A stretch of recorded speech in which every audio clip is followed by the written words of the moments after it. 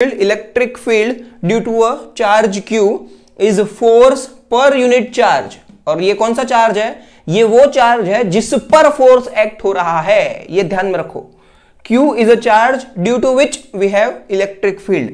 Q is a charge due to which we have electric field around it. Electric field around it. ठीक है?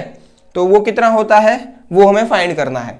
तो ई magnitude wise अगर लिखेंगे F कितना है?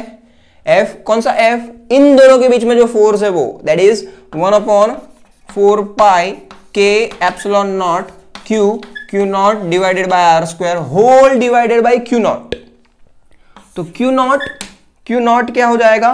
कैंसल हो जाएगा। क्यू नॉट क्यू नॉट क्या हो जाएगा? कैंसिल हो जाएगा. So what we are remaining with we are remaining with is equals to one upon four pi K epsilon not Q by R square very important expression very very important expression what?